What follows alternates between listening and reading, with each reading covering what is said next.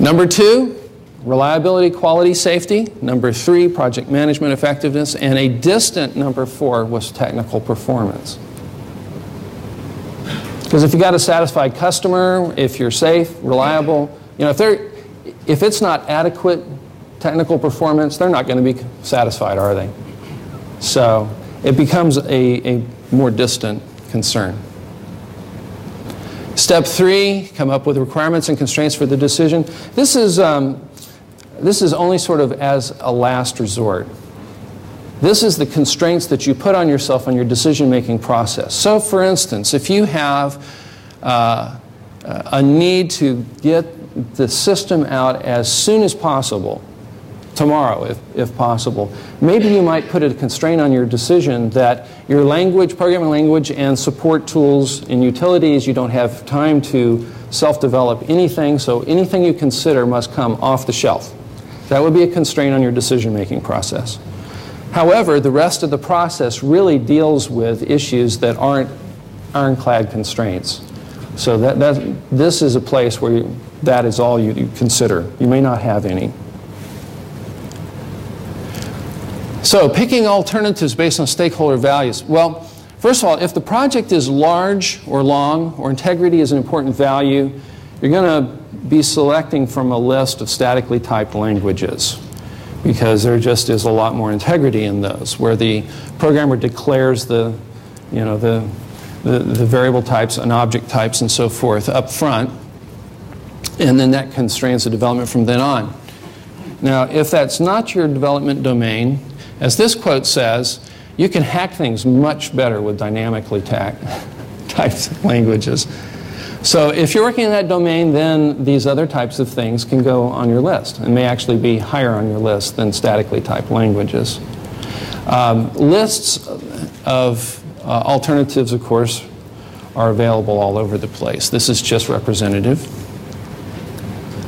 Developing the methodology, well, I am, I am uh, presenting a methodology to you here, which you could take as a basis, modify it, what have you, and use it. It's based on another lean technique called quality function deployment. And that is a series, you use a series of matrices to make a decision. Uh, you can use it for many different decisions than this kind of decision, uh, but this is one application of it. And I'm going to show you about the matrices starting at this point.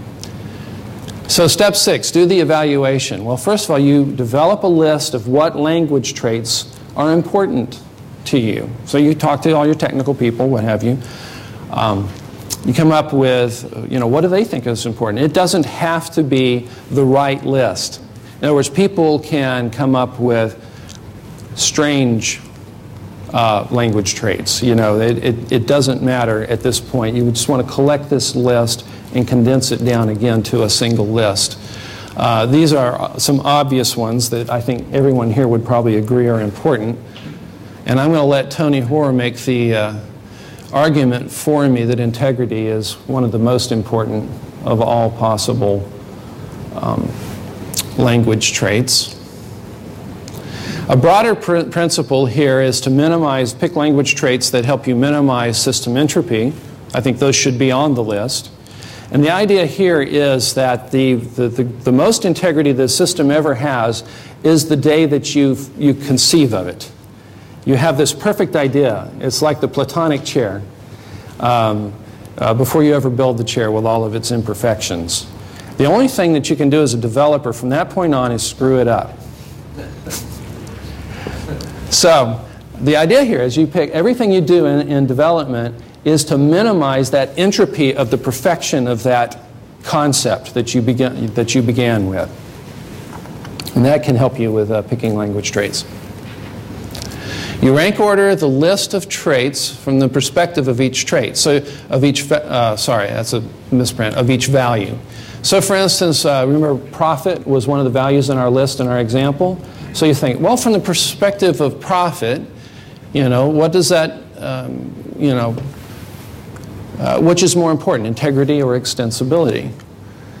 You know, uh, what's more important, integrity or integrability? And so I said, you know, this again is not an actual example. It's just to show you how to run the numbers. In this case, I, I, said, well, integrity is strongly more important than extensibility and weakly more important than integrability and what have you.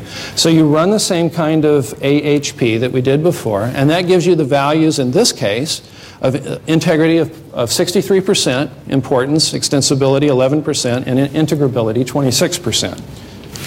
So you do that with all of your, your values. You come up with your, for each, for each of your values, you come up with a list. So here we go. From the perspective of the value profit, integrity is 63%, uh, extensibility is 11%, integrability is 26%, profit was 40.5% importance. You do the same kind of weighted sum, and now you have a list of language traits and their weights.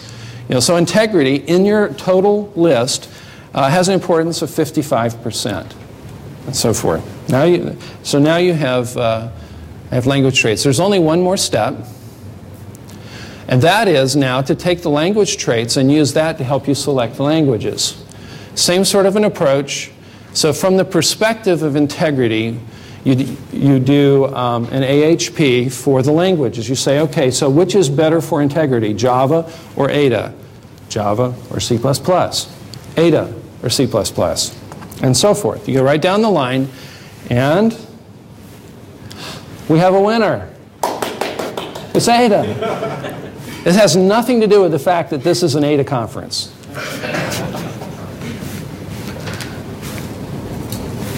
All right. So let's uh, summarize the QFD process for making the language decision. So we started with the stakeholders, we prioritized them, and then we used that to, de to uh, determine the value weights. Then we bring those weights down, make that the rows. Then we use that to determine the language traits, weights. We take those, and we use the language trait weights to determine the language weights. And now we have an objectively defensible choice of, of language.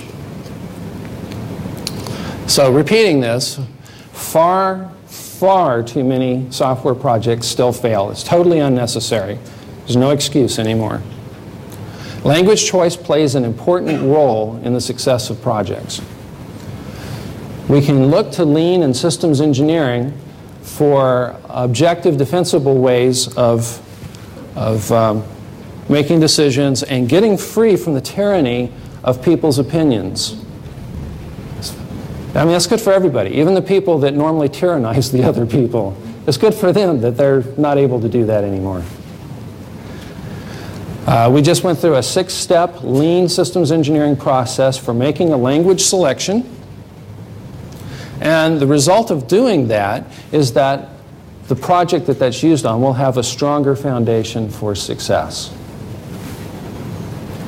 And I'll make one more point here. To learn more, as John mentioned earlier, to learn more about lean software development in general, there is a free article that I've written that you can get through the web, and that's the uh, connection. And that goes more into the overall lean software development process. All right, thank you.